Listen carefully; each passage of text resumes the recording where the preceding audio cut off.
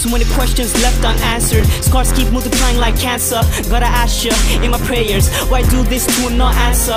I'm mad, I'm enraged, stuck in this cage. People judge my life by the cover. Look at this page, look at his innocence, check his age. Man, this shit is way too crazy. His son died, now he's trying to be a daddy, huh? Blowing up my phone when he's dead. Are you that ignorant and fucking dumb?